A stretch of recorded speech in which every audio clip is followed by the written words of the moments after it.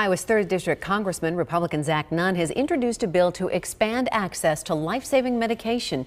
The bill would help more people access naloxone, also known as Narcan, to reverse drug overdoses.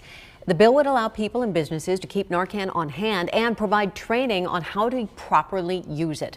The Iowa Office of Drug Control says 237 Iowans died of drug overdoses last year. Nunn says expanding access is critical, especially in rural areas.